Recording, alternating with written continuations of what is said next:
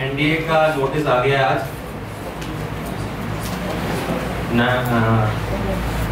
Seventeen जुलाई last date है उसकी।